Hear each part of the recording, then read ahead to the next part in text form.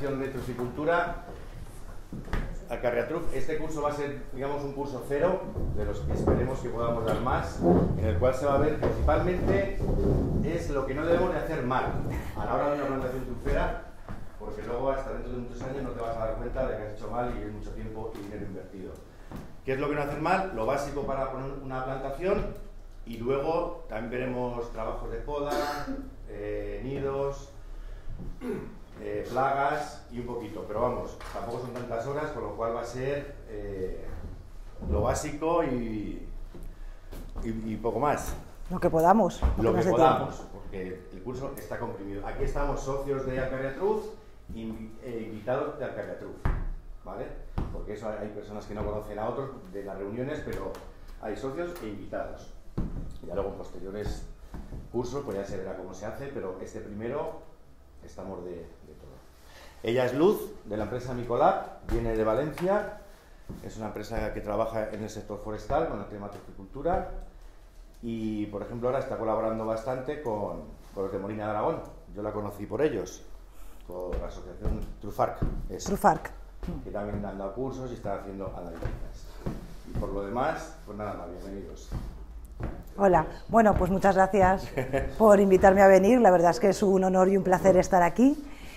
Y nada, bueno, yo para que sepáis un poquito de qué voy, yo soy ingeniera agrónoma, profesora de formación profesional en Segorbe, que está ya a 20 minutos de toda la zona trufera, a media horita de Sarrión, El Toro, Barracas, toda esta zonita. Entonces, a raíz de eso, eh, pues los chavales no hacían más que preguntarme por trufa, empecé a meterme en trufa en trufa y al final acabé, faltaban analistas por todas partes y acabé montando un servicio de asesoramiento en plantaciones truferas y de análisis tanto de planta de vivero como de las, micorrizas en plantación, ¿vale? Con lo cual, pues bueno, os voy a ir contando. La idea es contaros lo que eh, ya me contó José Manuel que os interesa a vosotros saber y además lo que me interesa a mí que sepáis para asegurarme de que no tengáis problemas con las plantaciones, de lo que estamos viendo el día a día en, campo, los problemas que están apareciendo. Y bueno, tenemos ya 40 años de experiencia más o menos, ¿vale? En, en Francia más, y sabemos muchas de las cosas que están ocasionando los problemas que os estáis encontrando ahora, ¿vale? Entonces, la primera parte voy a intentar pasarla rápida porque sé que vosotros tenéis mucho interés en el tema de laboreo, nidos, eh, nidos o pozos, en el tema de poda, plagas. Entonces voy a intentar pasar la primera parte, que es lo que tenéis que hacer antes de hacer la plantación, para intentar centrarnos un poquito más en el tema de manejo. ¿vale? Podéis pararme y preguntar cuando queráis, porque si os dejáis las preguntas para el final, al final no se hacen y os quedáis con las cosas en el tintero. Os me podéis llamar para lo que os haga falta. ¿eh? Ahí, eh, ahí, hay tarjetas, lo que necesitéis, os lo pedís mi teléfono a José Manuel, me dais un toque de teléfono o me enviáis un WhatsApp, un correo electrónico, lo que prefiráis, y las dudas que os, queden en el curso, ahí estarán. También lo estamos grabando en vídeo y lo subiremos a YouTube de manera que luego podéis consultarlo y tendrá eh, lo que es la presentación insertada, las diapositivas para, para mayor comodidad. ¿Vale? ¿Sí? Vale, pues empezamos. ¿Vale? Lo primero es qué tenemos que hacer para asegurarnos de empezar con buen pie, ¿vale? De que, bueno, ya sabemos que hay plantaciones perfectas que no dan, pero bueno, vamos a hacer todo lo posible para no comprar más billetes de lotería de los que debemos y que nos acabe tocando el gordo, pero el chungo, ¿vale? ¿Y esto por qué no se mueve? Hola. No, sí que tiene pilas. Ahora, que no le había pegado suficientemente fuerte. Vale, vamos a hacer una pequeña introducción sobre qué son los hongos y las micorrizas, porque es importante, si no esa base muchas veces mucha gente no la tiene clara del todo porque viene un poco de oídas o se lo han explicado un poco raro y no se aclara con lo que estamos viendo.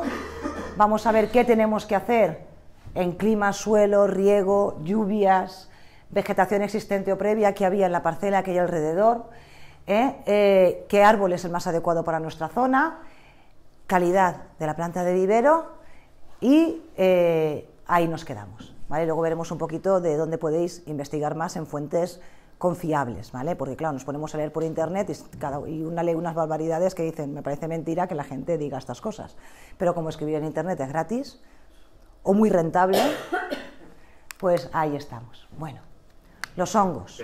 ¿veis bien? ¿Queréis que apaguemos la luz? Eso.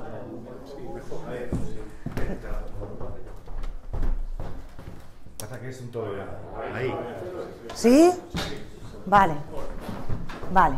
Bueno, ¿qué es un hongo?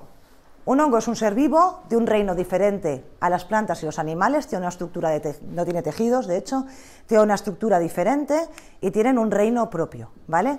Es un ser vivo que no es capaz de crear alimento como las plantas, sino que tiene que eh, conseguir alimento o bien comiendo materia orgánica muerta, ¿no? Desde, eh, yo qué sé, desde la leña muerta del campo, o bien asociándose con plantas para que les den los productos de la fotosíntesis, o bien enfermando o comiéndose a otros seres vivos, ¿no? como los hongos de los pies, clásicos. ¿vale?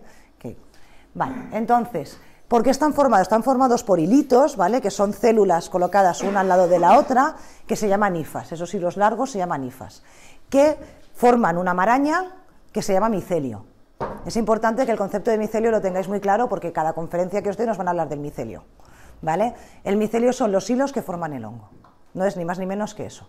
Y ese es el ser vivo. Y luego la seta famosa no es más que el fruto del hongo, ¿vale? Es como tenemos el naranjo, que es el árbol, y la naranja, que es el fruto. Bueno, aquí las olivas que he visto de camino, ¿la llamáis olivos aquí, aceitunas o olivas?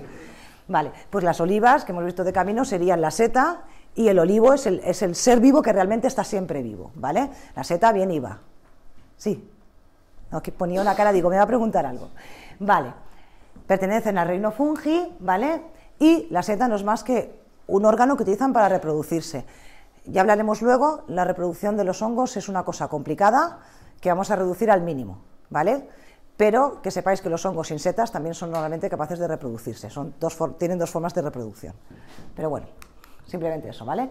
Tendríamos la seta o carpóforo y luego tendríamos el micelio. Esto es una escleroderma, es un honguito típico de plantaciones truferas, que tiene un micelio que parecen casi raíces muy exagerado y se ve muy bien. Pero bueno, aquí también veis el micelio, ¿vale? Cuando nos vamos a monte a recoger níscalos, ¿vale?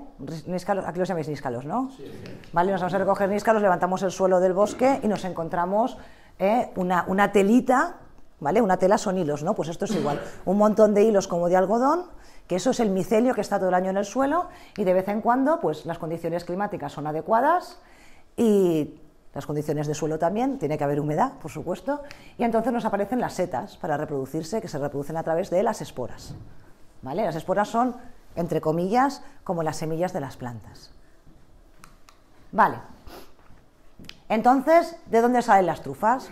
Pues las, las especies del género tuber, ¿vale?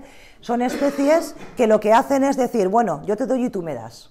Se asocian con un árbol, el árbol le da, ahora lo veremos, una serie de cosas y, el, hongo a cambio le da otras al árbol. Entonces lo que hacen es tejer en las raicitas jóvenes que aparecen en primavera y otoño, sobre todo, ¿vale?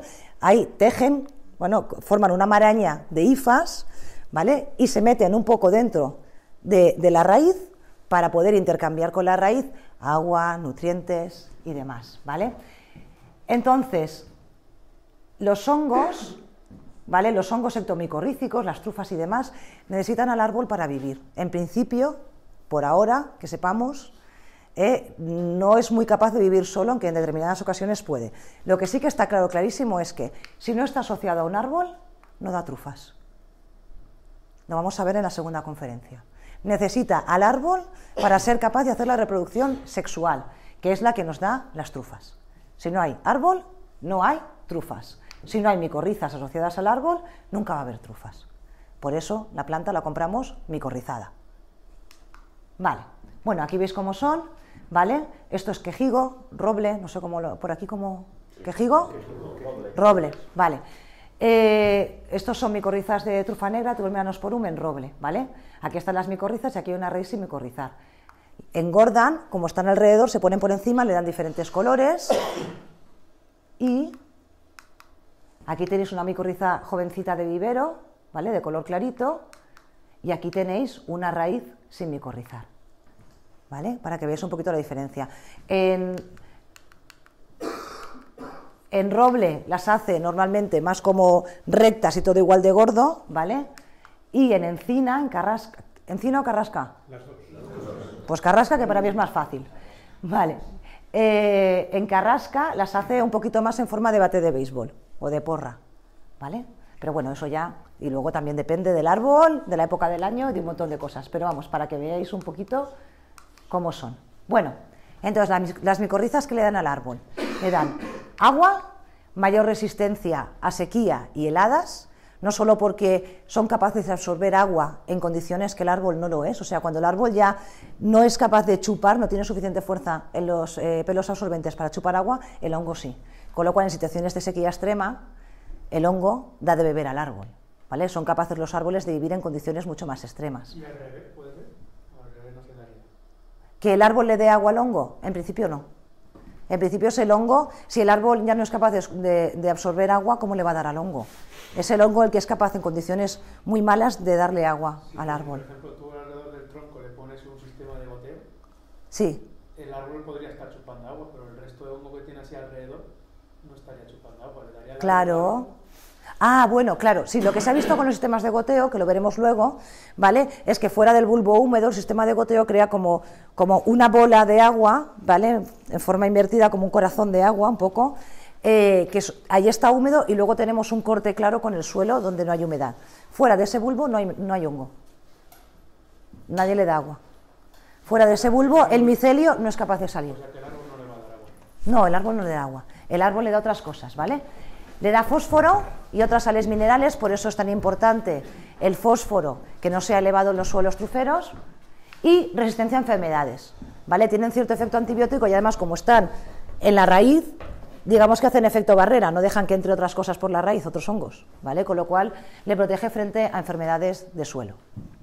Vale, mirad, esto es una micorriza de, eh, de ¿vale? Y tiene estos hilos ¿vale? Estos se llaman cistidios, pero vamos, serían como las ifas, es que tienen dos tipos, ¿vale? Que son los que salen, exploran el suelo, ¿vale? La raíz pierde los pelos absorbentes cuando coge la micorriza, deja de tener capacidad de absorción porque directamente el hongo la hace por ella, ¿vale? Y con estos pelos ¿eh? se meten por el suelo, exploran y alimentan, le dan alimento a la planta ¿eh? y, le dan, y le dan agua. Vale. Bueno, lo que os decía antes, si no hay árbol, no hay reproducción sexual. No es capaz, eh, el hongo no es capaz de crear trufas si no está asociado a un árbol o a un arbusto. ¿vale? El árbol se beneficia de las micorrizas, entonces, una vez más, sin micorrizas no hay trufa, sin árbol no hay micorrizas, por tanto, sin árbol no hay trufa. esto insisto mucho, pero es porque luego hay por ahí vendedores de humo que te dicen, sí, sí, tú tiras esto en tu campo que te va a dar trufa. No, señores. ¿eh? La seta de cardo sí, Tú tiras espora de seta de cardo preparada en un campo donde hay cardos muertos y te da, y te da seta de cardo porque se alimenta de cardo muerto. Pero es que el, eh, el tubermelanosporum no es capaz de alimentarse de materia orgánica muerta en principio. desde luego, en cualquier caso, no es capaz de, crear trufas si no tiene un árbol que se encargue de ello. Vale. Bueno, y esto os lo pongo porque es importante. No solo están las ectomicorrizas, que son las que hemos visto que ecto es de fuera, ¿no? como el ectoplasma, ¿no? Eh, que sale por ahí de los hongos, de los fantasmas y tal, sino que también hay otro tipo de, micorrizas que se llaman endomicorrizas, que en vez de estar por fuera y meterse un poquito entre las células para pasarle eh, nutrientes y agua al árbol, se meten, esto es una célula de una raíz, se meten dentro de la raíz. Se las llama también eh, micorrizas arbusculares porque parecen un poco un arbolito, ¿veis? ¿Por qué os cuento esto? Aquí. Más o menos eh, la función es la misma, pasan nutrientes, ayudan a la supervivencia en campo, etcétera, pero son especies típicas de quién? De cereales, de plantas hortícolas, ¿vale? De frutales en general, menos que, son medio forestales, el castaño, el avellano, sí que son ectomicorrícicos, pero en general todo lo que tenemos por aquí en, en España, vid, olivo, almendro, nogal, todo lo que es típico de zonas truferas, ¿vale? Son endomicorríficos. Y luego muchos árboles forestales, ¿vale? Por ejemplo, la sabina, que yo aquí no sé cómo veis de sabina, pero en la zona de Molina va muy bien de sabina y en la zona de Teruel y, Castell en Teruel sobre todo va muy bien de sabina. Entonces les preocupa, si tengo sabina voy a tener algún problema? No. ¿Por qué? Porque si tienes todo esto, estas endomicorrizas no desplazan a tubermelanosporum de las raíces, porque no se asocian a los árboles a los que se asocia el tubermelanosporum. ¿Vale? Bueno, os voy a advertir una cosa para que lo sepáis. a veces os cuento medio verdades. ¿vale? Porque meterme a contaros realmente la, complejidad de todo el tema del mundo de los hongos es muy complicado. Pero luego me sabe mal porque alguien lo verá por internet hablará con un colega y le dirán, hay árboles que son capaces de crear endoyecto, pueden tener de las dos, ¿vale? Pero que nos da igual. La historia es que si venimos de un campo que solo tiene especies con endomicorrizas, lo único que va a haber en ese campo son endomicorrizas que no compiten con tubermelanosporum, con lo cual estamos tranquilos. ¿Todo bien? ¿Sí? ¿Voy muy rápido? Vale. Vale. Ya hemos empezado. el tema de hongos está claro, ¿no? Vale. Ahora vamos a ver qué es lo que tenemos que tener en cuenta. ¿Vale? ¿Qué tenemos que tener en cuenta? Primero el clima. El clima, en principio, no vamos a tener nunca ningún problema porque ya sabemos. ¿Vale? Vamos a ver clima, suelo y agua de riego. Si nos falla cualquiera de estos tres, probablemente el sitio no podemos hacer nada al respecto, nos tenemos que mudar, ¿vale? Y luego, con vegetación existente eh, previa, planta la calidad de la planta micorrizada y el árbol simbionte, pues bueno, generalmente podemos buscar otros y sí que podemos eh, mantener la parcela. Pero si nos fallan estos tres, pues probablemente tenemos un problema grave y tendremos que buscar otro sitio. Yo me voy a quitar el reloj. Lo voy a dejar aquí encima, que como tengo el ordenador muy lejos. Vale, os cuento. Es importante que tengáis en cuenta una cosa a la hora de pensar eh, dónde va a funcionar vuestra plantación. ¿vale? La trufa es un hongo que vive en condiciones de sequías estivales pronunciadas, bastante sequía en verano, bastante calor en verano, mucho frío en invierno. ¿vale? Es, es un hongo de contrastes. ¿Vale? Y de, nuestros climas, ¿vale? De clima mesetario, ¿vale? Y clima mediterráneo interior, ¿vale? Esto es importante que lo tengáis en cuenta porque es un hongo adaptado a condiciones eh, de, sequía y de frío. Si nos, vamos, si nos vamos a otras condiciones, pues igual no nos va a funcionar, ¿vale? Suelos pobres también. Vale, entonces, el suelo, primero, pH básico, esto no lo sabemos todos, ¿no? Lo del pH, sí. Necesitamos un pH básico. Eso, eh, el pH básico, que es un pH 7,5, 8,5 habitualmente, hace que determinados elementos del suelo eh, no estén muy, eh, la planta no sea capaz de absorberlos con facilidad y el hongo le ayuda. ¿Vale? En otros pHs no, les hace falta el, el, hongo tanto. De hecho, aquí seguro que muchos conocéis los quelatos de hierro. ¿No? Aquí no nos queda más remedio que utilizar quelatos de hierro en suelos calizos porque si no la planta es que no es capaz de coger el hierro del suelo porque se inmoviliza. Con el fósforo pasa lo mismo. Entonces, en estas condiciones, la planta necesita más al hongo y es en las que aparece el hongo como una estrategia evolutiva de convivencia entre los dos. Yo te ayudo con la cal ¿eh? y te ayudo a captar nutrientes que tú no eres capaz de captar. Bueno, para saber si el suelo tiene, antes de gastarnos dinero en hacer un análisis de suelos, siempre podemos coger una botella de salfumán, tirar un poco de salfumán al suelo y ver si hierve. Si borbotea, es porque está disolviendo la cal, es ácido clorhídrico, y por tanto sabemos que, bueno, vamos a hacer análisis de suelos porque por lo menos ya sabemos que la cal la tenemos ahí. ¿Vale? Con caliza activa y, muy, muy importante, suelos aireados y sueltos.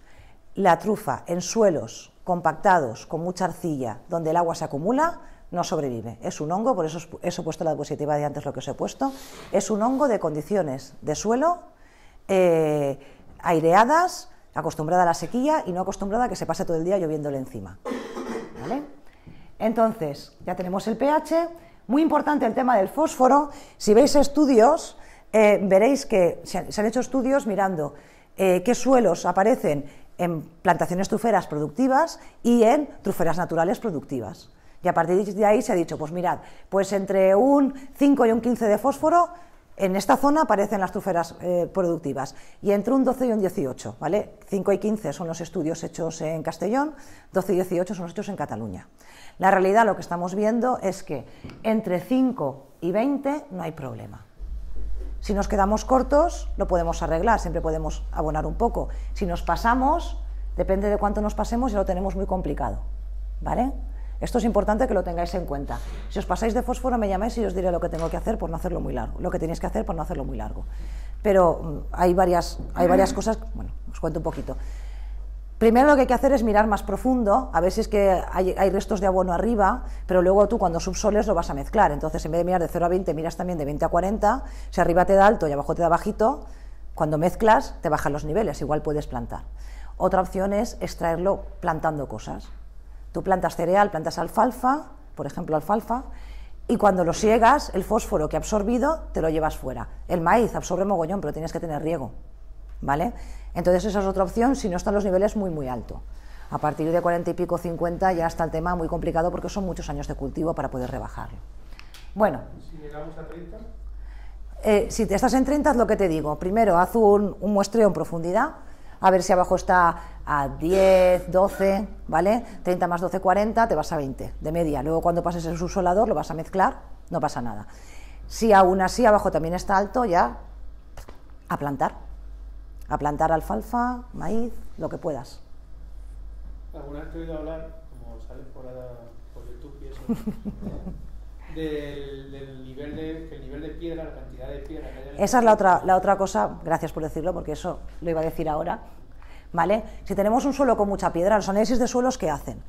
Te cogen el suelo, le quitan toda la piedra, te cogen la fracción finita del suelo, ¿vale? Y ahí es donde hacen el análisis. Pero si la fracción finita del suelo es un 20%, porque además es todo piedra, aunque tengas un nivel de fósforo de 26-27, probablemente no tengas ningún problema, porque es que hay muy poquita comida para la planta. La planta solo es capaz, de, y el hongo, de absorber el fósforo de, de, ese suelo. De la piedra no puede coger nada hasta que se deshaga. El suelo no es más que piedra, que piedra deshecha.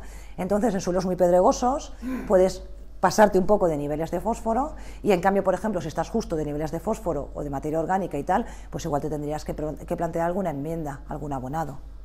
Sí. ¿Cuántos por ciento de piedra si se considera más o menos? Pues de, de, de 2000 Hay truferas buenas con un 10% de piedra y con un 90%. Bueno, con un 5% de piedra y con un 90%. ¿Vale? Hay de todo. O sea, es una barbaridad. Lo de la piedra es que no es nada representativo, por eso no lo pongo. ¿A partir, Por- de, a, a partir de qué tamaño consideramos? O sea, porque cuando hacemos el análisis. Normalmente, a partir de 2 milímetros, de 2 milímetros para arriba ya no es arena, ¿vale? Ya es piedra. Claro. Las lo que miramos en análisis de suelos es arena, limo y arcilla, ¿vale?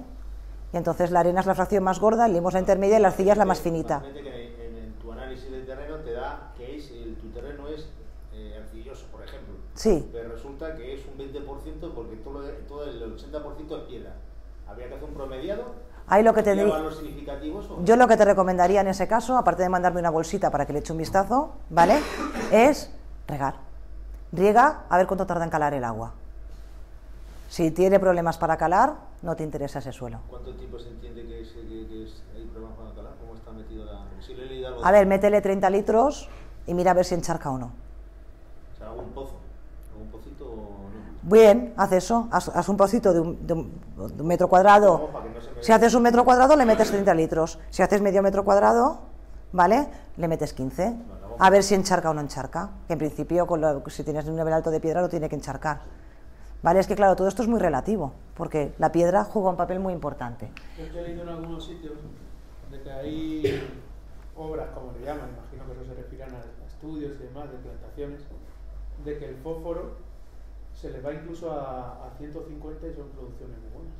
Yo eso no lo conozco. Y además es que en Internet pone cosas muy raras. ¿Vale? Entonces, yo os digo que los estudios serios que se han hecho en Cataluña, Castellón y Teruel, porque la gente que hizo Castellón hizo también Teruel, las que producían estaban en ese rango. Cuando te salías de ese rango, no producían. O producían peor. Estos son los rangos óptimos, por eso os decía, un poquito para arriba, para abajo te puedes ir. Pero 150 de fósforo, vamos, yo estoy convencida de que eso... a ver. Y también pasa una cosa, yo conozco una plantación con 40 de fósforo que produce. ¿Vale? ¿Por qué? Pues porque es que aquí se combinan muchas cosas. Entonces, igual es que justo todo lo demás estaba muy mal le hace falta mucho la micorriza por otro motivo y esa produce. Pero en general no son suelos recomendables nunca porque no sabemos por qué ese sí que produce cuando el 99% con un 40% de fósforo no produce. Yo no me arriesgaría a hacer una plantación en ese terreno. Hay dos opciones. O trueque, puedes eh, trucar la parcela con, con algún vecino que vaya a hacer cereal, o venderla y comprar otra. Pero yo no me arriesgaría. Ningún especialista os va a recomendar que planteéis una parcela con un 40 de fósforo. Vale, importante, la pendiente, ¿vale? Pendientes muy suaves no, ¿vale? Terrenos muy planos no, porque se encharcan mucho y como este es un hongo de condiciones de terreno áridos, de suelos muy aireados, cuando se encharca te la cargas. De hecho, hay un caso famoso en la zona de Benasal, en Castellón, de un señor que hizo riego a manta, riego a manta, riego, riego este de superficie, ¿vale?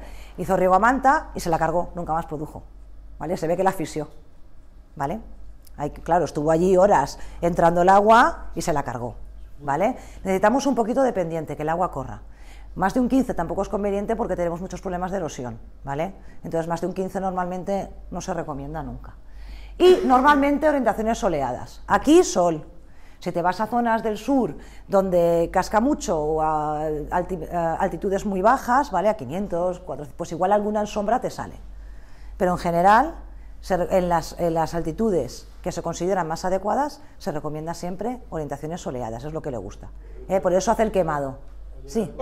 Ahora con el cambio climático, o sea que tendemos a tener veranos mucho más largos y mucho más calurosos, eh, el tema de regar está correcto, rega, se es capaz de meterle la, suficiente humedad, pero que la temperatura la vas a tener mejor 8 o 10 grados por encima de lo normal.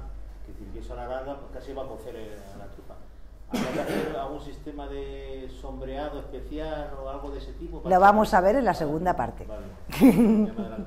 sí, es que tenéis que tener en cuenta eso, que, estas son las preguntas típicas que me hacen siempre en esta conferencia, ¿vale? Que normalmente las respondo en esta conferencia, pero es que nosotros tenemos otra chachiguay para luego.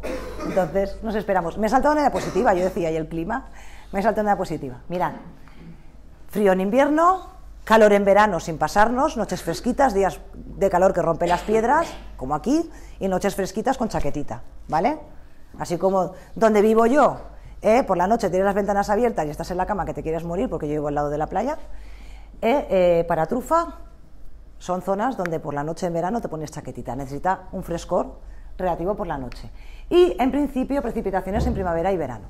Esas son las zonas naturales donde nos aparece la trufa, ¿vale? La lluvia anual entre 500 y 900 milímetros es lo ideal.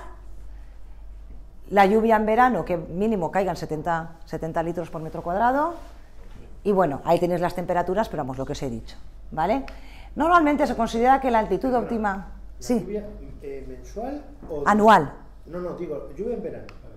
Ah, eh, tres, meses. tres meses. Sí, junio, julio y agosto.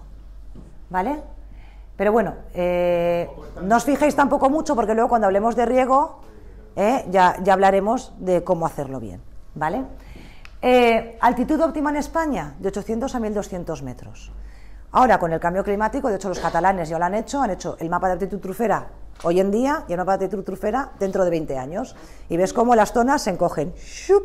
Porque si seguimos con los...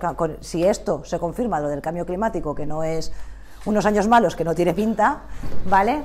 Pues nos vamos a encontrar con que muchas zonas buenas para producción de trufa se nos van un poco. ¿Vale? Entonces yo cuando el cliente me dice que está a 800 me pongo un poco nerviosa. Cuando me dicen que ya están a 900 digo, vale, bien. Y de hecho ahora cuando me dicen que están a 1250, 1300, pues ya no me preocupo tanto. Vale, sí que es verdad que algún año las heladas te van a cascar la producción, de la trufa superficial sobre todo, a 1300 y a 1200 también. Pero prefiero un suelo, un terreno a 1200 o 1300 que un terreno a 800 porque estamos viendo lo que está pasando, y es que pues eso, trufa inmadura, trufa podrida, toda la trufa de chapa hecha polvo, mogollón de, leo, de, desde el escarabajo de la trufa, mogollón de problemas, eso sí producen, ¿vale? Luego veremos qué posibilidades tenemos para eso. Bien. Bueno, esto os lo he metido, esto no lo queréis vosotros, esto lo quiero yo, ¿vale? Os he metido cómo hacer un muestreo correcto de suelos. ¿Por qué? porque me encuentro muchísimas veces cuando me llamáis porque tenéis un problema con los datos de suelos, pregunto cómo lo habéis hecho y lo habéis hecho de cualquier manera, no por vuestra culpa, porque nadie os lo ha explicado. Entonces, como yo estuve trabajando dos años en el departamento de suelos de la universidad, y otra cosa no, pero de suelos controlo un montón, os he metido, yo no hago análisis de suelos, me niego en rotundo y hace bastantes, eh, pero sí que si alguna vez hacéis un análisis y queréis que os lo mire, me lo enviéis por WhatsApp o por correo, yo le echo un vistazo. Entonces sí que para mí es muy importante que esto lo tengáis claro, ¿vale? El muestreo de suelos es imprescindible, porque muchas veces, claro, yo, muchas veces me llama el cliente, oye Luz, que es que eh, me ha salido el terreno franco-arcilloso y no lo tengo claro si puedo plantar o no. Hace poco me pasó. Y le dije, mira, llama a Demetrio. Demetrio es un señor de la zona de Castellón que lleva toda la vida recolectando trufa en monte y tiene plantaciones hace 20 años. Entonces yo digo, si Demetrio te, mira el suelo y te dice que el suelo es bueno, puedes plantar. Vale, pero es que los truferos, todos vosotros que muchísimos seréis truferos de monte de toda la vida, veis el suelo y podéis decir que este suelo es bueno para trufa, pero no veis la química del suelo. Tenemos que mirar la química también, tenemos que mirar el pH, tenemos que mirar que no tengamos problemas de fósforo, de nitrógeno, de relación carbono-nitrógeno, de salinidad, que parece mentira, pero a veces lo hay. Nitrógeno, los suelos en la zona de Castellón que se han tirado un mogollón de purines, hay muchísimas plantaciones que se han pasado a brumale y pensamos que es por los purines, no está confirmado, pero vamos, eh, es milimétrico, ¿eh? donde hay purines hay brumale. Entonces, si tú haces un análisis de suelos, ves el nitrógeno, ¿vale? Que es lo que pensamos que es lo que hace que se pasen a brumale las plantaciones con purines. Entonces, ideal, si tenéis un amigo, si vosotros mismos sois truferos naturales, vosotros veis el suelo y decís, este suelo es cojonudo, el clima es cojonudo, vale, ahora el análisis, por favor, ¿vale? Es muy importante que hagáis un análisis de suelos. Vale, importante, si tenemos 10 hectáreas, no podemos hacer un análisis de suelos para 10 hectáreas, porque aunque visualmente sea igual, el suelo puede cambiar. ¿Vale? Los protocolos del Ministerio dicen que máximo dos hectáreas. Tenéis que subparcelar en máximo dos hectáreas. Por supuesto, si tenéis una zona con mucha piedra y una zona donde se, que se encharca más, un suelo rojo y luego un suelo, de, un suelo de tonos más marrones, eso también lo tenéis que hacer por separado porque son suelos diferentes que van a tener características diferentes. ¿Vale? Pero por favor, máximo dos hectáreas. Que hay gente que me analiza 8 o 9 hectáreas de golpe. Claro. A ver, esto es el bote de, el bote de canicas. ¿Vale? Tú tienes un bote de canicas con cinco colores de canicas diferentes. Si saco cinco bolas, lo más probable es que no saque todos los colores, ¿verdad? Ya sería casualidad que no sacáramos dos negras o dos rojas o dos amarillas. Cuando tú coges una parcela muy grande, ¿vale? Coges un punto aquí, un punto allá, al final mm, no sabes si es que, como se te mezcla todo, no sabes si, si el fósforo está alto porque está, alto, está bajo porque está bajo en todo, o porque tienes unas zonas con fósforo muy bajo y otras con muy alto, hay que subparcelar. Vale, Normalmente se hacen análisis de 0 a 20 centímetros, pero la realidad es que la carrasca hace raíces mucho más profundas y la cantidad de suelo útil que tiene hasta que se encuentra la roca normalmente es más profundo. Y cuando pasamos el subsolador, que es ideal pasar el subsolador antes de plantar, no pasamos a 50-60 centímetros. Pues lo ideal es que hagáis también de 20 a 40 centímetros por separado. Es importante que sea por separado, porque la molla de arriba tiene unas características determinadas, normalmente ha sido labrada, ha sido, ha sido fertilizada y tal, y abajo son diferentes. ¿Vale? Entonces, mejor por separado. Mínimo cinco muestras. De estas dos hectáreas, por lo menos hay que picar en cinco sitios. ¿Vale?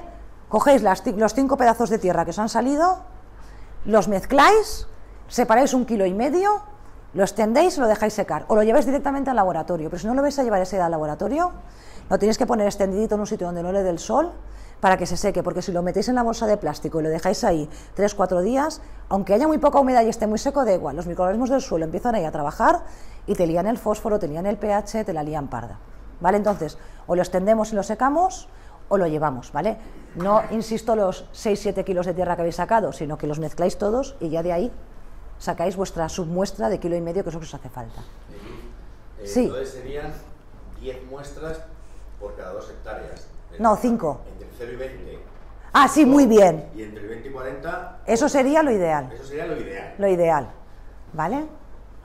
Y siempre se evitan los bordes de la parcela, ¿vale? Los primeros 3-4 metros de parcela, a menos que sea súper estrecha, ¿vale? Hay gente que tiene bancales de estos, de, yo qué sé, de 5 por 6, entonces pues ahí no te queda más remedio. Pero siempre se evitan los bordes de la parcela porque siempre ahí está más compactado, los caminos, se ha trabajado menos, hay influencia del suelo que hay fuera, entonces los bordes se evitan. Aquí está. Muestreo correcto de suelos. Os vais por la parcela, hacéis un zigzag y en cada flechita que he puesto tomáis una muestra. ¿Cómo la tomáis? Bueno, el dibujo este es súper cutre, pero es que dibujar por ordenador es muy complicado, a menos que seas diseñador. Mirad, hacéis un agujero, aquí tendría que haber puesto de 0 a 20, que no le he puesto. Hacéis un agujero y luego tomáis con la pala de toda la pared. ¿vale? No vale, la gente coge y dice, ¡pala! Hace así, te saca una pala y acabas cogiendo mogollón de arriba y muy poquito de abajo. Tenemos que coger más o menos lo mismo de toda la profundidad de 0 a 20. Entonces tienes que hacer primero el agujero para que te quede pared y luego rascar la pared. Esto es el mismo efecto que las sondas. Los tubos estos que utilizamos para tomar muestras, es un tubo, lo metes en el suelo y te sale de 0 a 20, tu, tu, tu, ¿eh? eh, una morcillita de tierra, ¿no? Que es con lo que hacemos la nuestra. Como sonda no tenemos nadie y tampoco nos la vamos a hacer, hombre, un herrero te la hace por 20 euros. Pero para no tener que hacernos la sonda, pues con la pala. ¿Vale? Hacemos el hoyo y luego con la pala, con cuidado, tomamos todo este trozo desde la pared. o con la azada con cuidado, ¿vale?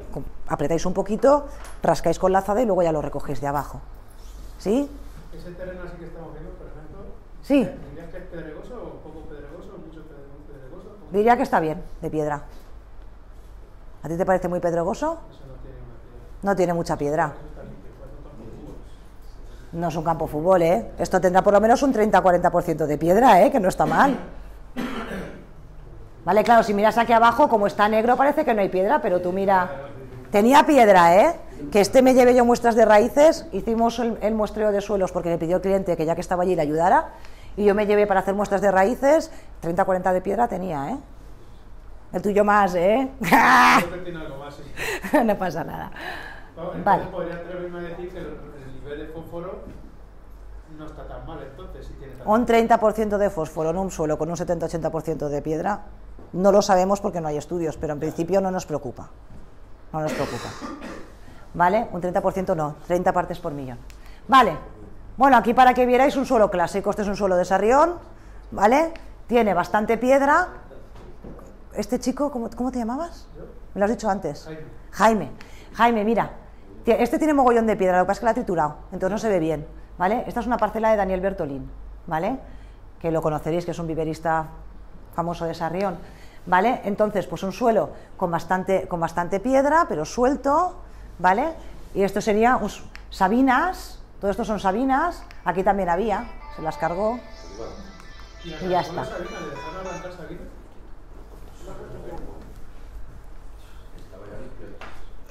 ¿Vale? Bueno, los suelos clásicos para hacer plantaciones truferas en España, ¿vale? Vosotros estáis por aquí, ¿no? ¿Vale? Más o menos. ¿Vale? Pues están de Madrid hacia el este, en zonas donde hace frío, ¿vale? Aquí estaríamos por Sarrión más o menos, Sarrión, El Toro, Barracas, esa zonita de ahí, que es donde empieza la zona trufera. De ahí para abajo, para hacia la costa, ya nada. Tienen que ser terrenos calizos. Todo este lado decimos, uy, ¿por qué en este lado no hay? Dice, porque en este lado no hay suelos calizos, son todos ácidos. ¿Vale? Vale. Vale, aquí sí que os pido un poco de paciencia porque del riego lo haremos en detalle en la segunda parte. ¿Vale? Aquí solo os lo voy a contar muy por encima y en la, en la otra entraremos más. A ver, lo que estamos viendo es que sin riego solo vais a coger trufa, los años de lluvias muy buenos, que quiere decir que llueve en primavera y que llueve en verano y un poquito en otoño, ¿vale? Y que esos años cada vez son menos. Con lo cual al final solo vais a coger trufa el año que la trufa va, va barata porque todo el mundo tiene trufa. Entonces se está viendo que si no ponéis riego, pues evidentemente la rentabilidad de la plantación baja mucho, ¿vale? Entonces, es importante que tengáis en cuenta que lo ideal es regar desde el día cero. Desde el día que ponéis la plantación, regar desde ese día. ¿Por qué? Porque las plantaciones regadas desde el principio, si está todo bien hecho, la planta viene bien de vivero, el clima, el suelo, si todo es correcto, van a producir antes y van a hacer el quemado antes que una plantación que no se riega. Yo veo mucha plantación de 5 o 6 años que no tiene ni un quemado, en zonas así áridas que no se pueden regar, y plantaciones de 3-4 años con quemados evidentes que se han regado. ¿Vale? Bueno, y durante la producción necesitamos el riego para conseguir altas producciones de trufa a través de eh, también activar el micelio. Luego lo veremos con calma. Entonces, ¿cuándo queremos las lluvias o el riego? Las épocas primordiales, ¿vale? Son antes de la producción en primavera y cuando ya están produciendo también en verano. Luego os contaré con más calma esto. Y es importante, normalmente no lo hacéis porque las aguas son de montaña, no hay ningún problema, pero si hay la más mínima sospecha de que pueda haber salinidad, haced un análisis de aguas, que eso es barato además. La conductividad eléctrica les cuesta 5 minutos de hacer, es coger el bote, hacer así, ¡pup! y sacarlo. No creo que os puedan cobrar por eso más de 5 euros. ¿Vale? Y siempre necesitamos que tener periodos secos entre riego y riego o lluvia y lluvia. Nos, sale una primavera lluviosa, no pasa nada, ¿vale? Pero sobre, pero sobre todo en verano tenemos que dejar periodos secos. Pero esto lo veremos con calma después. Vale, esto sí que, mirad, eh, esto, después del análisis de suelo, esta es la segunda causa. Vamos, hay tres causas básicas de fracaso de plantación, ¿vale? Hay más, pero las principales son, no hemos analizado el suelo y la hemos liado porque tenemos algo en el suelo que, que no permite la micorriza desarrollarse. Esa es poco habitual. Las que son muy habituales son planta mostosa de vivero, planta con muy baja calidad de vivero, que luego veremos qué quiere decir eso, y plantaciones que se han hecho en terrenos donde había avellanos, pinos, encinas, robles o coscojas, dentro de la plantación o en el borde de la plantación. Luego veremos si están en el borde qué podemos hacer con ello. ¿Qué es lo que pasa? Campos de cereal, campos de cereal, ideal para la trufa. ¿Por qué? ¿Os acordáis de por qué? Lo he dicho antes. Por el fósforo no, porque tú puedes haber echado 40 kilos de triple 15 y tener fósforo por encima de la cabeza. Porque la carrasca es, eh, eh, bueno, la tubermelanosporum es ectomicorrícica y todos estos tienen endomicorrizas. Con lo cual, cuando tú pones tu encina ahí, no hay nadie que se vaya a subir a las raíces de tu carrasca, que vaya a colonizar esas raíces y te vaya a desplazar, a tu, no le vaya a dejar sitio a tu tubermelanosporum para cuando salgan las raíces nuevas colocarse. ¿Vale? Estos son campos limpios de competidores. Básicamente, leguminosas, forrajeras, cereal y en general todo lo que sean frutales. Menos lo que nos interesa a nosotros, que sería eh, principalmente el avellano. ¿Vale? Porque castaño aquí como que no. Me habían comentado otro día alguien que no sé si era beza o avena o algo, porque luego dejaba en la tierra fósforo o nitrógeno. Nitrógeno. Todo lo que son leguminosas tienen una simbiosis también con bacterias, ¿vale? Por lo que fijan nitrógeno. Por eso las legumbres tienen tanta, pro- tanta proteína, ¿vale? Porque son fijadoras de nitrógeno. Pero que. Eso, eso puede ser bueno o malo, ¿vale? Como tengas el nitrógeno alto en el suelo y encima le metas una legumbre, una leguminosa la estás liando, entonces dependerá de tu análisis de suelos. Si el análisis de- suelos te, bajo- te sale bajo nitrógeno, y esto ya lo veremos en la segunda parte, te interesa plantar cereal o forraje, que muchas veces no hace falta, ¿vale? Pero si te hace falta plantar algo para limpiar, pues entonces pon, pon beza, eh, avena no, beza, alfalfa, eh, Sí, pero que va a ser en función también de la analítica. sí, Que no voy a poner cualquier cereal o cualquier leguminosa. No, en principio eh, los cereales, eh, claro, en principio cualquier cosa que pongas, si tienes un nutriente bajito, se lo van a cargar. ¿Vale? Entonces tienes que mirarlo. También, insisto, lo veremos luego, hay que ver si hace falta poner cereal o no, que muchísimas veces la gente está en la leyenda urbana, no, no, antes de plantar, hace un año de cereal. Y dices, bueno, ¿para qué? Si esto lleva 20 años de cereal ya, o si esto lleva baldío 20 años y el suelo está perfecto, ¿para qué tengo que hacer un cereal? Depende de lo que tengas en el suelo, ¿vale? Una, una pregunta. Según eso, por el tema de la compactación, también puedo eh, plantar el lago, esto llama, el, para lo que, es, lo que son, son pivotantes para romper estructuras, ¿no? Son de esos, digo que planto... Alfalfa es un cultivo muy interesante para, para reducir la compactación. ¿El trigo sarraceno o alguno de estos son de raíz más, fin- más pequeñita. Dentro de todo esto de fijación de nitrógeno, etcétera, etcétera, te digo porque en el viñedo lo estoy viendo. Hay otro, no sé si es el nabo salvaje o nabo, no lo llaman, que hay varios, o hasta la propia colza, que se utilizan como, que son pivotantes. con lo cual Sí, que lo utilizan para drenar, para, para romper el suelo. ¿Hay algo, hay algo sobre eso o nadie ha- A ver, realmente, eh, normalmente, antes de plantar, tú no pones nada para romper el suelo, tú lo que haces es pasar el subsolador. Vale, pero tú imaginas que quiero ir manteniendo todos los años... Yo en algún cliente que tiene problemas de parcelas arcillosas le he dicho que pruebe, que es una técnica muy francesa, a poner, como tiene riego, alfalfa, que es lo que más, lo que hace la red más potente, ¿vale? Eh, si no tiene riego, pues puedes poner algún cereal para mantener unos niveles de infiltración un poquito más altos. En eso se basan todas las teorías de la permacultura, ¿vale? Pero solo en casos muy específicos de suelos muy compactos, con mucha arcilla, para mantener un poco más la aireación. manteniendo una... que no se, que no se Sí, para, para que no se cierre el poro del suelo, para que drene, para que pueda infiltrar y drenar.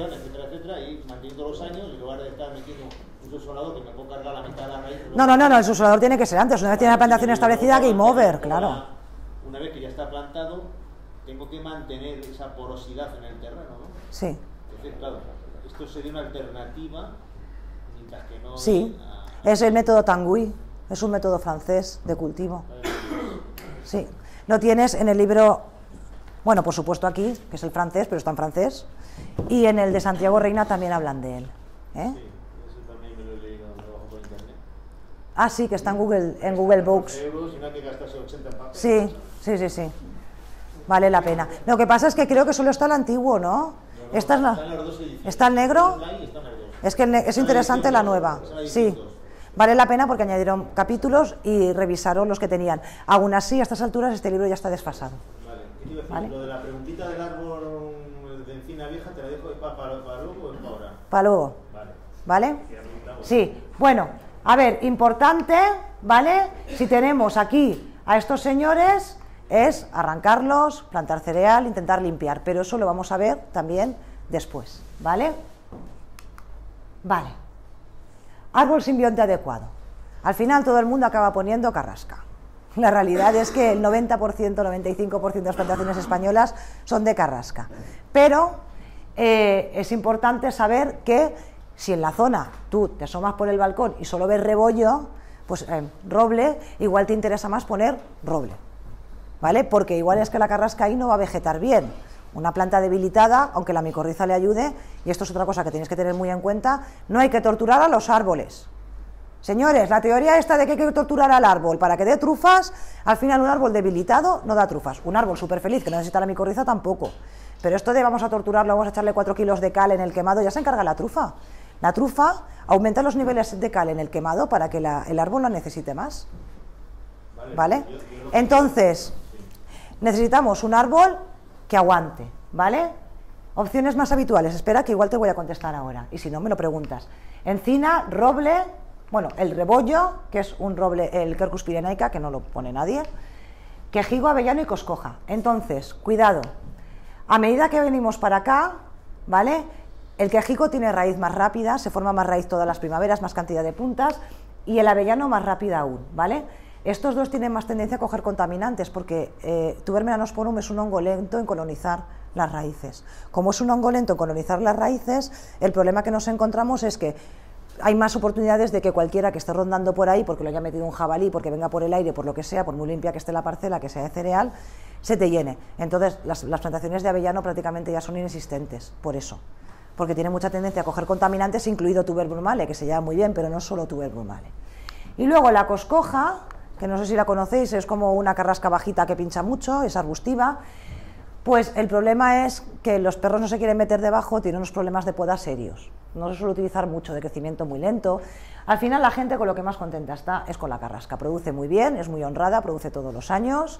Hay gente que, que dice que el, que el roble es el, quejigo, ¿vale? Es más tempranero, la experiencia desde luego que tenemos en general es que no, de hecho la carrasca empieza a producir año, eh, antes y produce más kilos. Y encima el roble también suele tener un problema serio de poda, ¿vale? Hay que podarlo más, porque se hacen muy altos, ¿vale? Entonces controlarles la poda es más complicado, ¿vale? Al final, ¿cuál, ¿qué te va a decir cualquier persona que controle de esto y que sepa y que sea honrada, incluidos los iberistas? Es, si la zona va a carrasca, pon carrasca, y si la zona es muy, muy, muy, muy de roble, pon roble. Y de las demás, pues a menos que tengas muchísima pendiente, ¿vale? Entonces, en el librito este... Sí, ahora te contesto. En el librito este tenéis esta tablita, que como es un poco pequeña, la pantalla no se ve bien, ¿vale? Tenéis una tablita para elección de especies, ¿vale? Pues si los suelos son profundos o son más escasos, si llueve mucho, llueve poco, si hay mucha pendiente o hay poca. Y si, no sé si lo leéis, pero en todos los casos te vale carrasca. ¿Vale? Lleva mucho, lleva menos, haya más pendiente, haya menos pendiente. Sea como sea, la carrasca siempre te vale, que es Quercus ilex, ¿vale? El roble te vale casi, bueno, más o menos casi siempre, ¿vale? Y luego, sobre todo, en pendientes pronunciadas nos aparece la coscoja, ¿vale? ¿Veis? Coccífera, coccífera y coccífera. Y luego, en sitios con muchísima lluvia, que en España, pues, en, zonas donde hay mucha lluvia, no hay el suelo adecuado, ¿vale? Excepto quizá en el Prepirineo. Entonces, ahí sí que te aparece el Quercus pubescens, que es el que normalmente se llama rebollo, ¿vale? Y ya está. Entonces, pues nada, simplemente porque lo vierais un poquito, ¿vale? Vale. Aquí nos metemos en la tercera causa de fracaso de plantaciones, ¿vale? Realmente las dos más importantes son vegetación inadecuada en el borde dentro de la parcela y planta de mala calidad, ¿vale? Entonces, yo me forro todos los otoños, que me muero, ¿vale? A mirar planta. Y planta que pase los controles de calidad, hay poquita. ¿Vale? Por desgracia, hay poquita. En general, la planta no cumple los criterios mínimos de calidad para establecer una plantación. Tenemos dos tipos de calidad. Entonces, ¿cómo, entonces los viveros, ¿cómo lo venden si no la cumple? Ah, ¿hay una normativa que te prohíba venderla? Oye, ¿no pone eso de que pasan por la Diputación de Teruel y cada una es un papelito? Hace dos años que no hay papelito. ¿Eh? Hace dos años que no hay papelito. Ya no lo ponen hace dos años. De hace dos años. Lo siguen poniendo, pero fíjese que no pone Diputación de Teruel. Pues antes lo ponía. Pero siguen poniendo el papelito. Muchos viveros, porque como así la gente se queda más tranquila. Pero antes lo ponía. Sí, Hace- pero el papelito de la Diputación de Teruel, ¿vale? El viverista de las, vamos a verlo ahora, de las mm, 20.000 plantas que hacía, enviaba tres y las enviaba al viverista. ¿Usted cree que el viverista no sabe lo que tiene que enviar a analizar? Entonces, ¿qué han podido engañar? Pues en estos momentos hay un montón de juicios de un vivero que ha vendido durante un montón de años planta contaminada con brumale de Teruel De- con la etiqueta ¿De, de qué sitio has dicho? de Teruel. ¿Pero de qué, de qué casa? Eso no lo digo. Pero la gente lo sabe. Pero, ¿y entonces cuánto hace que están? Ah, Antes las, las micro- ¿ha habido alguna época que las han micronizado mejor? A ver, lo que estamos viendo también últimamente, venía comentándolo con José Manuel en el coche, que veníamos cada uno en nuestro coche y hablando. Eh, pues otra de las cosas que le estaba comentando es que lo que estamos viendo últimamente es que hay, tampoco voy a decir quién, porque queda más que nada porque lo vamos a subir a internet y no quiero tampoco, pero estamos viendo que la planta, eh, por lo menos mi experiencia es que la planta está bajando de calidad y pensamos que es un, de la cantidad de micorrizas que tiene, pensamos que es un problema climático.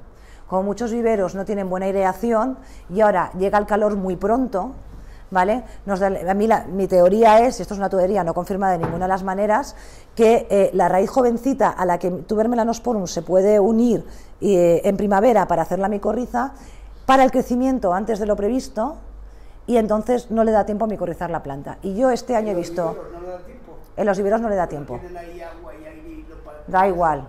No, no. De hecho, en, en Soria, por ejemplo, en la zona de Soria y La Rioja, la planta no está tan mal como en otras zonas de España. Por eso yo me asiento más en mi teoría. Porque hace cuatro o cinco años la planta no salía tan baja de micorrizas, yo tengo clientes que son viveristas y no entienden qué está pasando. Yo les he visto la planta hace cuatro o cinco años y estaba más o menos bien, y ahora veo la planta y tienen cero micorrizas de tubermelanosporum. Sí que le echan, sí. Ah, perdón, perdón. Sí, me lo tenéis que decir porque me acelero. Sí. Pero hace, es una pregunta, hace 5 o 6 años, cuando estaba la, la subvención, decían, y yo creo que tengo papel por ahí, que había un certificado de calidad de las universidades, la de Alcalá o la universidad. No, lo que hay, que yo sepa, lo que, Para, para la subvención, es decir. y- y- no, para la subvención lo que pasa es que depende de la subvención que sea, te obligan a ir a determinados centros de análisis Sí, o a utilizar determinada metodología de análisis, porque hay varios, varias formas de, de analizar la planta, ¿vale? claro, Entonces, una- yo lo la del Centro Tecnológico Forestal de Cataluña, Fisher y Colinas sería, No, supongo. era, esto no lo recuerdo, pero era de uni- no me acuerdo si era la Universidad de Alcalá o La Politécnica. o algo de Molina, que decía que había un certificado y entonces si eras de la subvención tenías que coger el, el vivero que se sometía al control de la universidad. Eso era Lo que no sé es si iba de la universidad certificada. a la fecha de hoy no hay un protocolo, ni está arreglado, ni está normalizado, y un protocolo de certificación de planta micorrizada. Se está haciendo ahora. Entonces, certificaban con las analíticas, con los papeles de la Diputación. Pero no te decía, se habían mandado 10 plantas de un lote de 1000, de 10.000, que era una certificación para cumplir el expediente. Porque después de eso, plantas con ese papelito, las mías, han venido con, con otro tipo de, de tuber, o no estaban micorrizadas. Y no se puede hacer nada pues, porque no...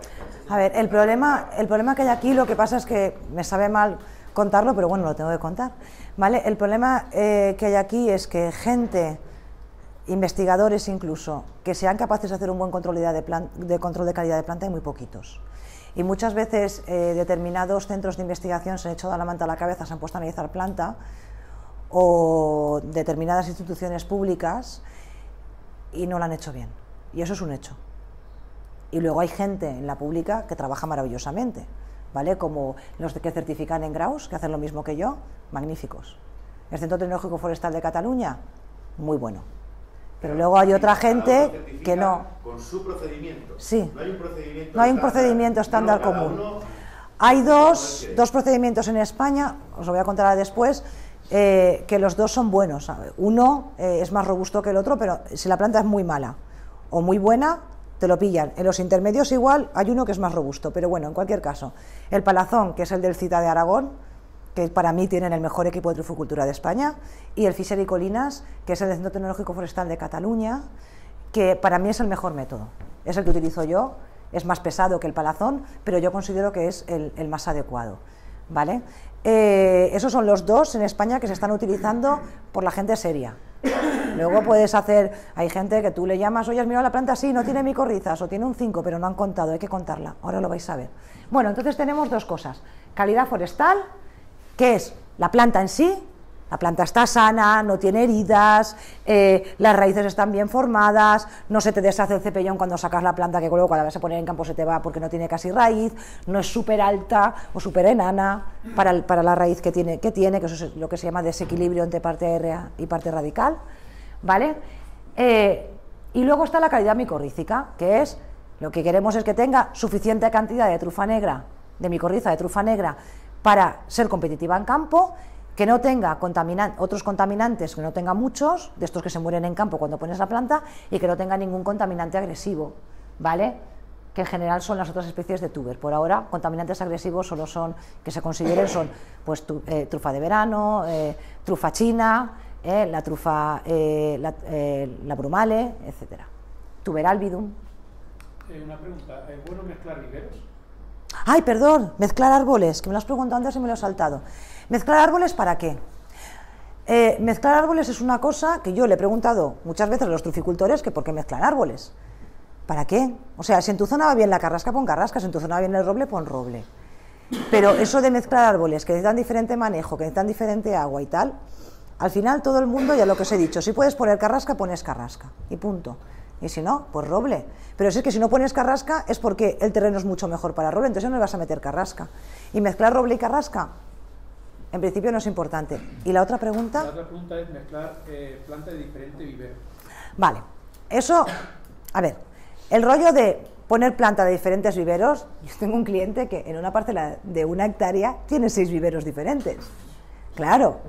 A ver, dices, ¿por qué? Y te dicen, por seguridad, Claro, no pongas todos los huevos en la misma cesta, pero no, señores, lo que tenemos que hacer es poner todos los huevos en la misma cesta, pero los huevos sanos.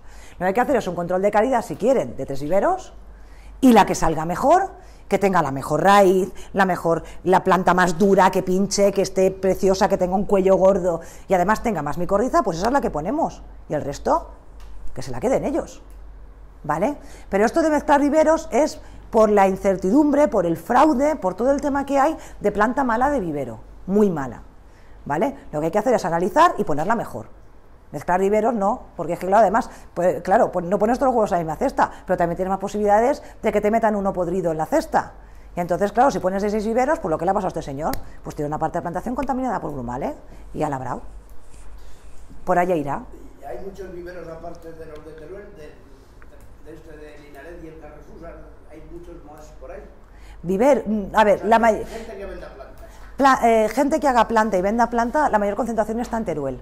Luego hay en Soria, me refiero a los, en principio del sector, no, no el que te hace tres plantas o se las compra otro y luego te las revende, pero que hagan planta hay en Soria, y en La Rioja, y en Huesca, Teruel, Castellón, Guadalajara, Murcia están en fase experimental, pero les va bien, y creo que básicamente ya. En Guadalajara estaban Vitruf, ¿no? Vitruf. Vitruf. En Laguna Seca los llamáis. No, eh, no, no. Pues estos son los otros. Ay, no Hay alguno, sí hay, pero vamos, la mayor concentración está en Teruel. Ah, y en Cataluña. En Cataluña tenemos dos que en general hacen buena planta. Igual lo mejor que las hacen. no tiene despertadería por ninguno. Porque es que si encima que cuesta ahí, te parece que estás criando. Ya hablamos luego de eso. Estás criando una familia hace 10 años. Pues eso es, eso es ya, importante. ya hablamos luego. Ya hablamos luego de eso. Los que os dedicáis a explicar todas estas cosas, no tenéis que andar con tapujos. Tenéis que ir diciendo la realidad Repito. de lo que es. ¿Quién es bueno, quién es malo? Repito. Luego hablamos de eso. Pero eso luego... Explícaselo. Date la vuelta y explícaselo tú. En la asociación no hablamos. Otra pregunta, no, si volvemos atrás. Pero ella como docente no puede mojarse ahí. Que ¿Más? Eh, Eh, yo lo que me refería de, la de, exponer varios, varios viveros es, he oído hablar una vez por la variedad genética. No tengo ni idea de lo que es. Ah, vale, sí. No tengo ni idea. Vale, por favor, importantísimo. La gente habla de mezcla genética, de variedad genética y tal, y al final eso también es una chorrez.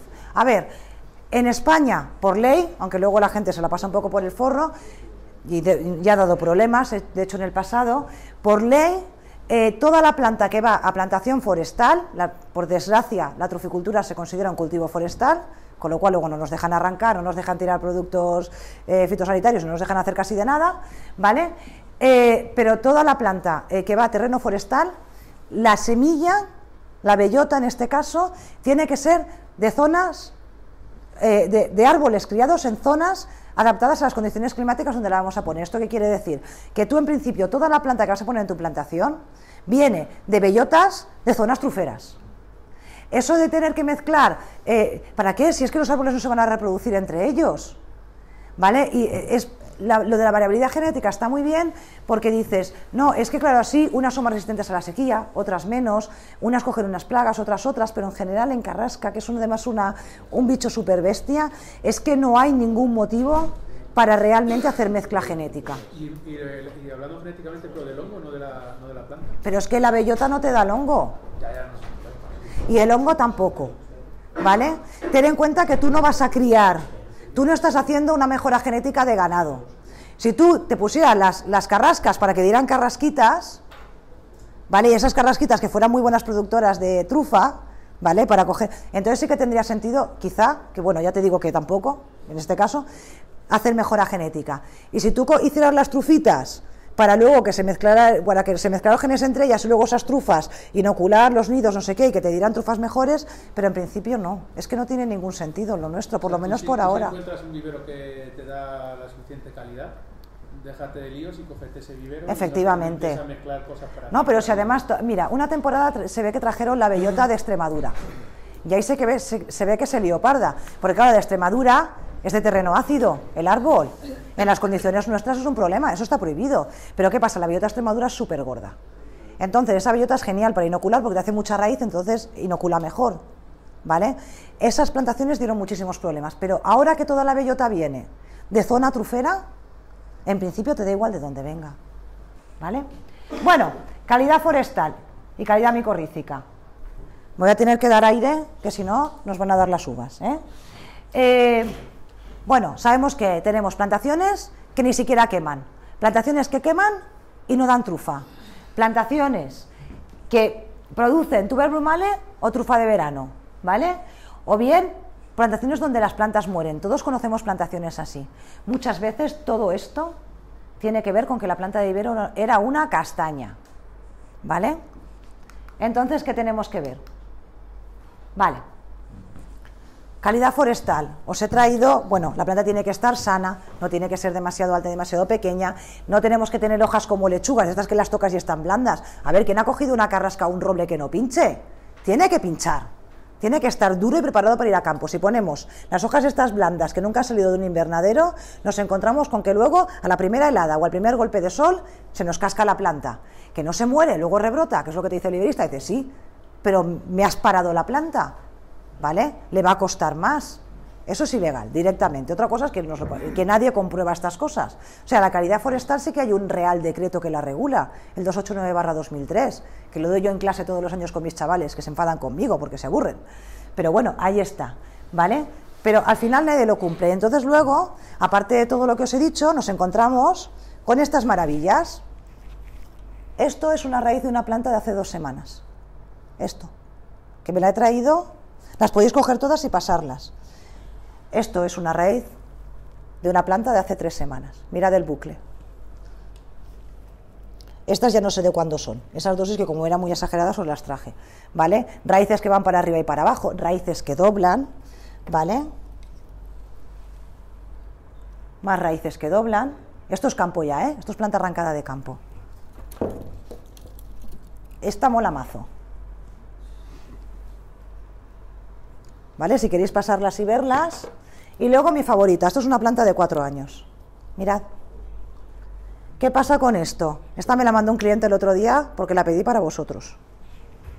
Le dije, mándamela, por favor. Como me tenía que mandar unas plantas a analizar, venga, yo pago los portes, pero te lo descuento, pero mándamela. ¿Vale? ¿Qué pasa con estas plantas? Las plantas que tienen raíz bifurcada desde arriba, ¿veis? No tiene una raíz pivotante para abajo. Le cuesta más colonizar el terreno, ¿vale? Eh, además tiene peor soporte. Nosotros queremos, la planta lo que quiere es tirar raíz para abajo, para abajo, para abajo, tocar zona húmeda, esa es la estrategia de supervivencia mediterránea. Cuando toco agua, entonces ya me pongo a echar raíz por todos los lados, por eso el quemadón aparece automáticamente. Aparece cuando ya tenemos la micorriza altita, que es cuando el efecto herbicida se nota en superficie del Para abajo buscar agua, es lo primero que hace, ¿vale? Esa raíz le cuesta más. A esta ni siquiera lo ha conseguido. No tengo muy claro qué ha pasado aquí, pero me lo imagino. No, no, no, esto no es un pedrusco, esto viene de vivero. Además, mira, mira aquí arriba, tiene cuatro, cuatro o tres o cuatro, depende de dónde mires, ¿vale? Luego, lo peor es aquella, la, que gira, ¿vale? Las, las, raíces crecen a lo ancho también, ¿no? Como el tronco, cada vez son más gordas. Si tú tienes una raíz que hace así, ¿vale? ¿Qué pasa con los años? Esto gira, ¿veis? Esto gira, corta el flujo de savia al final de aquí para abajo. Si tienes suerte de que por aquí arriba tienes raíz, igual la planta sobrevive. Como no, game over, la planta la palma. Plantaciones de 4 y 5 años donde se mueren plantas por cosas de estas, hay un montón. Entonces, os recomiendo... ¿Cuánto tiempo suele estar la planta ahí metida antes de llevar al campo? Entre uno y dos años. Luego os lo contaré también. Claro, es que ¿cómo no se va a enrollar? Porque las que son... No, déjame hablar, que te lo voy a contar. Sí, perdona. Lo decía de buen rollo.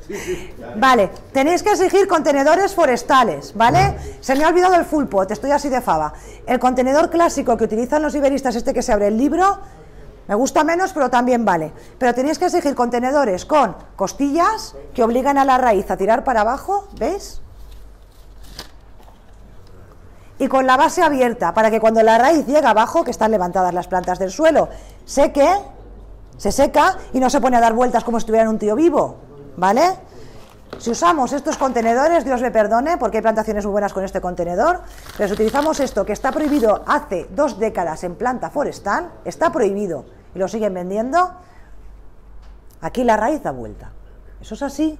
Y luego te la llevas a campo y bueno, si tienes, si tienes vista, no da mucha vuelta, la cortas por fuera y tal, pues bueno, a veces bien, pero también la palman muchas. Y en cualquier caso le cuesta más explorar el terreno, ¿vale? Y esta planta, de esta planta se vende mucho. Vale. Intento darme aire, pero es que preguntan cosas. Vamos a darnos prisa. Vale. Vale, bueno. Planta de calidad de un vivero. Planta dura, ¿Vale? Planta gorda, planta en un contenedor forestal levantada del suelo. Ya está. Que pinche. Esa es la raíz que tenéis por ahí rondando antes de quitarle la tela y demás. ¿Vale? Que aquí en la foto se ve mucho mejor. ¿Vale? Entonces, pues eso, si tenemos suerte y estrangula por aquí y esta raíz que está un poco más arriba se libra, que ha tirado para abajo, pues te salva la planta. Pero que tú lo que quieres es que eche raíces a lo, ancho lo antes posible y tal, pues estas plantas tienen muchos problemas. Vale, ¿cuál os gusta más? Esta, ¿no? Pues de estas hay... Tengo dos tapers llenos en casa, que los uso para prácticas con los alumnos. Tengo dos tapers, dos tapers de estos. Y eso sale así de vivero. Eso sale así de vivero. ¿Qué pasa? Que tú no lo ves. Lo veo yo cuando la limpio para hacer el control de calidad. Estos son plantas limpias para control de calidad. Yo a toda, a toda planta que analizo le hago una foto. ¿Vale? Esta tiene un cuello mucho más gordo. Mirad qué finita es esta.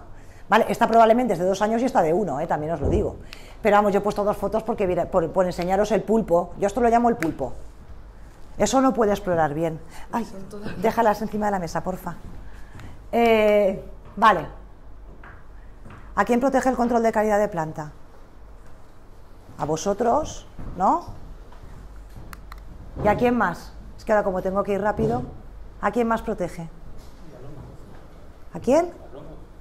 Al hongo, bueno, a nosotros, que queremos que nos, nos echen mucha, planta, mucha trufa a las plantaciones, pero también protege al liberista que hace buena planta. De hecho, en la reunión de Madrid que estuvo José Manuel, hubo por lo menos un viverista montando un pollo porque le parecía que la planta, iban a dejar salir planta a campo muy floja. Sí, eh, se está haciendo el Real Decreto de venta de planta micorrizada, que lo, lo están ahora preparando, o sea, regulando, porque no existe normativa, y los viveristas buenos decían que eso era una castaña, porque tiene un estándar de calidad muy alto. Y lo que dijo el Ministerio es que van a hacer un estándar mínimo, o sea, unos básicos, para que pueda vender planta.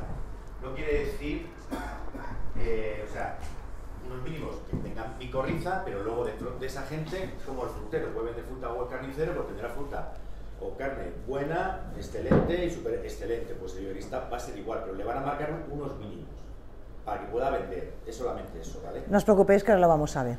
¿Vale? Esta, por ejemplo, esta plantación está hecha con planta en el, contenedor, en el contenedor ese de bolsa, ¿vale? Es una plantación que produce muy bien, tiene, tendrá ahora 18, 19 años, pero esto es lo de siempre. Si nosotros...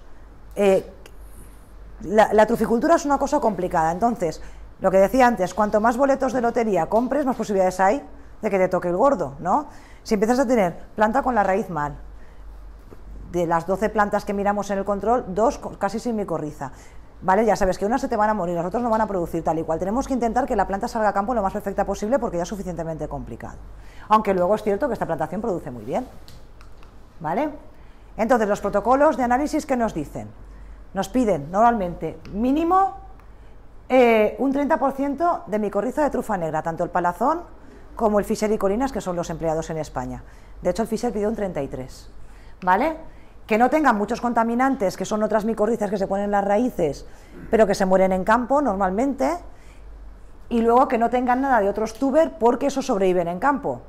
Y le quitan el sitio tuber melanosporum y al final acabas teniendo una preciosa plantación de trufa de verano o de tuber brumale en vez de de tuber melanosporum, que es lo que queremos. ¿Vale? Queremos plantas con muchas micorrizas de trufa negra y sin peligro por contaminantes. Vale, lo que preguntabas, planta de una o dos sabias. Normalmente lo ideal es planta de dos años, ¿vale?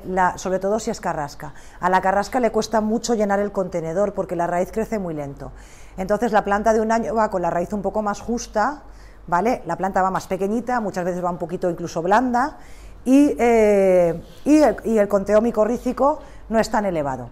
La planta de dos años normalmente o es malísima o es súper buena, o se ha llenado de contaminantes hasta las orejas, eh, o, no, o, ya, o, no, tiene prácticamente micorriza, o como han pasado dos años que ha tenido tiempo de hacerlo, tienes una planta bien micorrizada. Entonces, yo, siempre recomendamos planta de dos años, siempre que se pueda. Va con mejor raíz y tal. No más de dos años tampoco. Planta de más de dos años, aquí no cabe. De hecho, la legislación prohíbe la venta de planta forestal de, de carrasco de roble de más de dos años. No cabe, ¿vale? Entonces ya tenemos una raíz, la verdad es que no os he traído fotos, pero si a la hora de comer, si alguien tiene interés, en el ordenador llevo un montón. Las raíces están ya, que se las ve viejas, se las ve apretadas, es una raíz que aunque hay plantaciones, yo conozco gente que ha hecho plantaciones con planta de tres años que funcionan bien, pero como siempre estamos con la lotería, hay que intentar hacerlo lo mejor posible. La planta de un año también puede funcionar muy bien, pero la ideal es la de dos. Vale. Real decreto, lo que estaba comentando José Manuel. En el Real Decreto nos dicen que al menos tiene que haber 100 ápices de tuber melanosporum, ¿vale? 100 ápices son 100 puntitas, 100 ápices... Es, está sin cerrar. Está sin cerrar, pero por ahora, antes decían 300, ahora dicen 100. Esta planta de aquí tiene 2.000 puntas, más o menos, 2.000, 2.000 y un poquito. 100 puntas aquí suponen un 5% de micorrización, ¿vale? 200 sería el 10%, 100 el 5, cuando se pide un 30. Y están diciendo, no, no, no, es que da igual el porcentaje, con que lleve micorriza a campo. No, señores, no da igual el porcentaje. Cuanta más raíz libre dejes para que se suban otras, se te pueden subir más contaminantes. Primero. Segundo, si va con poca micorriza, le va a costar más años que tire ¿vale? Los cistidios, los hilos, que se vaya cogiendo a toda la raíz que hay ahí para hacerte una planta con capacidad de producir trufa, ¿vale? Lo que vemos es eso. Yo veo mucha plantación de cuatro años que me encuentro igual plantas con un, que solo tienen trufa, pero tienen un 10%. Hasta que eso llene todo, para que produzca bien, tiene que llegar. Una planta de cuatro años normalmente tiene un 90-100% de tuber melanosporum en las raíces. ¿Vale? Eso es lo normal. Cuando vemos planta tan justita es porque venía fatal de vivero. Esa planta le va a costar muchos más años producir si no se llena de contaminantes antes. El otro día estoy viendo una plantación en Sarrión. Una de las cinco plantas, ¿vale? Todas eh, con tuber melanosporum al 30, al 40, con tres años, ¿vale? Pues justita. Y una planta estaba entera contaminada de otro bicho, de campo.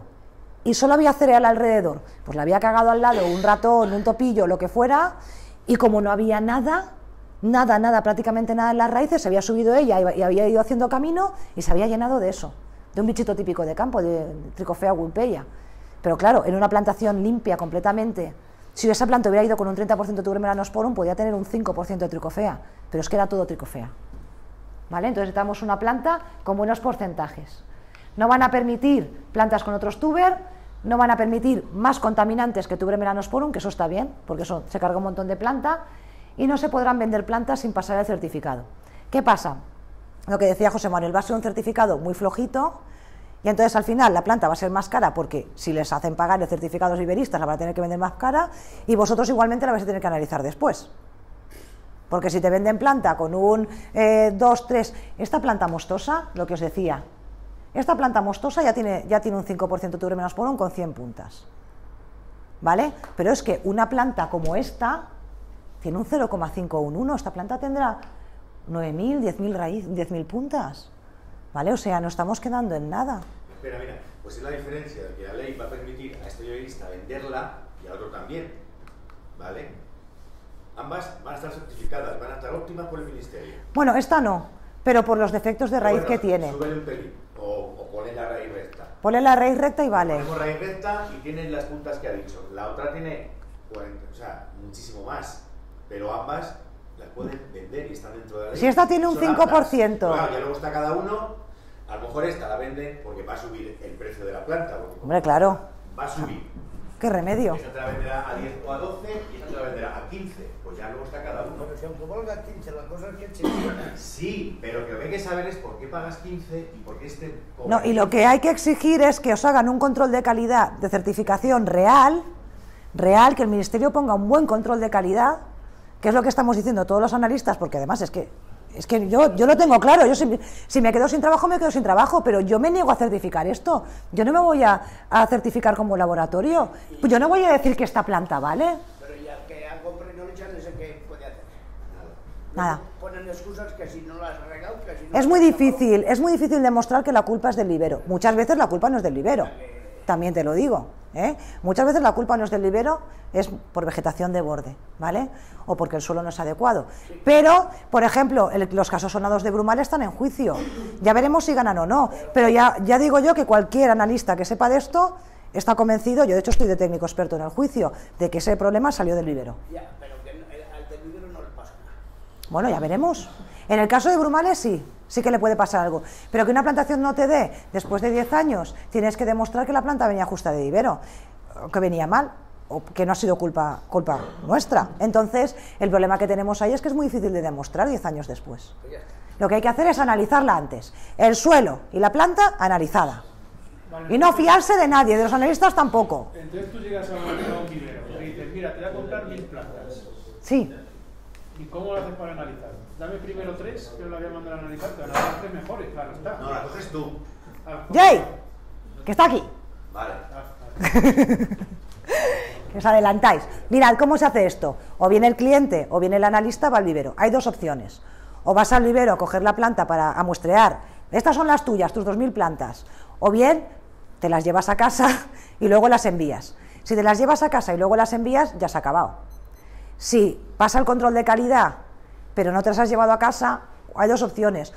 O de alguna manera has marcado la planta y te aseguras de que es la misma que tú, que hemos tomado tú o yo, el analista o el cliente, para analizar, o bien vuelves a enviarle dos o tres al analista que las mire por encima, te cobre poquito, pero que se asegure de que siguen llevando molla de micorriza. Eso es lo que hacía, no sé si aún lo hacen, pero lo que hicieron los catalanes un montón de años. Para las plantaciones, la Asociación de Truficultores de Cataluña hacía eso, reanalizaba. Lo siguen haciendo. ¿Lo siguen haciendo? Muy bien, pues es lo que tienen que hacer. ¿Vale? Yo siempre le digo a los clientes, si no os habéis llevado el lote a casa, yo no pongo la mano en el fuego por nadie. Bueno, por uno sí, pero ahora no lo voy a decir, luego lo diré. ¿Vale? Eh, pero eh, si no os lo habéis llevado a casa, mandadme por favor dos, os cobro poquito, ¿vale? Y miramos y nos aseguramos de que es lo mismo que tú muestreaste. Para muestrear no se puede hacer de cualquier manera tampoco, porque si no, si os, dejamos elegir, por, que acabáis eligiendo la que más os gusta o la que menos os gusta y hay que muestrear de todo. Entonces yo os mando los números que me tenéis que traer. Si voy yo, los hago con un programa de ordenador y luego os digo, pues si en, la, en los cajones, pues por ejemplo, si es bandeja de esta, van 12 por bandeja. Pues os digo, bandeja 5, planta 3, para haceroslo más fácil. Si van en cajones de 40, cajón 4, planta 16, planta 32. Y cogéis 12 en principio. Si son menos de 1000, eh, si son por ejemplo 900, yo os digo que cojáis el 1% más 2. ¿Vale? Que, este, que, serían 11 si son 900, por ejemplo. Pero lo que dice el protocolo es que por lote son 12 plantas lo que hay que mirar. ¿Vale? El lote de tamaño máximo, según todos los protocolos, es de 2.000 plantas. ¿Vale? Un lote es toda la planta hecha el mismo día con el mismo inóculo de trufa. En el momento que nos vamos a otro día con otra trufa, ya la podemos liar. Por supuesto, luego además se tiene que haber regado igual, el sustrato, lo que va dentro del contenedor tiene que ser el mismo, etcétera. Pues ¿Vale? ahora mismo el lote puede ser del tamaño que quieran. lo que está bien regular, porque no está regulado, lo tenían puesto en el borrador que podía ser hasta de 15.000 o 20.000. Eso no tiene ningún sentido. Eh, aparte que no es lógico, no, no pueden hacer 15.000 A ver. Eso está también que se va a regular y se va a poner cifra. Pero eso es un riesgo para el viverista también. Porque si mezclas toda la planta que tienes en el vivero, yo creo que tiene más posibilidades de, de que nos toque una chunga. ¿Vale? Porque con que una salga mal, cuando digo salir mal, en el Fisher y Colinas, que es el que utilizo yo, una con, que te salga una con menos del 10% de micorización o una con más contaminantes que micoriza tu hermenanosporum, se va a tomar por saco el lote. ¿Vale? Entonces, eh, yo creo que no les conviene. Si tú haces lotes más pequeños, en principio es más regular lo que tienes dentro, por eso se hace, para que sean más o menos las plantas iguales y tienes menos posibilidades de, que, que, tengas un lote chungo y te entre. Yo creo que sea bueno para ellos. Lo mejor es ahora, quien vaya a comprar planta, lo primero, hablar con quien se la vaya a analizar y que le diga las que tiene que coger, la cantidad. Cuando vaya a ver el vivero, a hacer las visitas, pues ya se la manda y dice, pues está bien, Pepito, pues a Pepito. Y luego, cuando te llegue a casa, cuando te la manden ya el año siguiente, cuando te la manden, otra vez hay que enviar. Bueno, y yo también os recomiendo una cosa, yo, yo lo hago, no sé, pero esto hay que hacerlo con tiempo. Yo, por ejemplo, octubre del año que viene lo tengo lleno ya, para análisis de planta, 2018 porque la gente ya se lo sabe, si no yo, yo soy profesor al mismo tiempo, yo no doy abasto. Entonces yo, yo cierro la paraeta, si no, porque me pego un tiro. Pero yo lo que os recomiendo, si lo hacéis con tiempo, es que cojáis las 12 directamente, se las enviéis al analista, pero le digáis que primero os mire tres. Porque si os mira las 12 os cobra un pastizal, pero muchas veces con tres tú ya sabes si eso está para tirar o no.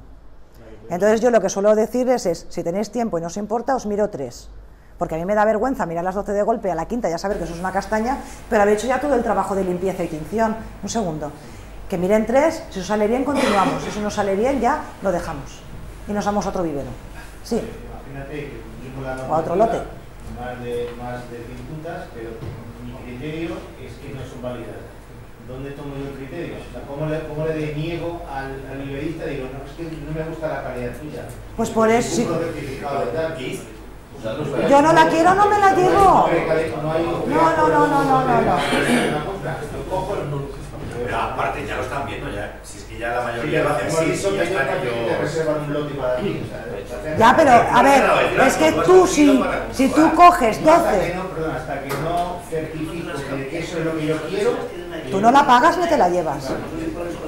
¿Vale? Yo he pedido, yo he pedido. Los catalanes el año pasado 14.000 plantas compraron la, asociación de los fueron a tres viveros, Cataluña, de Aragón y tal, cogieron muestras. Claro, eso incrementa el de la planta, pero luego se lo pasa a la asociación por planta a cada socio. Cogieron muestra y dijeron a este vivero. Y a ese vivero, 14.000 plantas de este lote, o de estos lotes. Sí, lotes, lotes. Ahí hay 10 lotes. Correcto. La fecha del contrato le enviaron las plantas y volvieron a coger muestra y volvieron a analizar, pero ya solamente del vivero del pedido, no de los tres de antes. Así es como lo hacen los catalanes y lo hacen vía asociación, no es uno va por libre.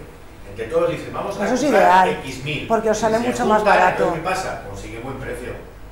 Claro. Buen precio, buen laboratorio, buena analítica. No, buen precio y mucho más barato el análisis, porque claro, en un lote igual, con un lote puedes plantar tres o cuatro.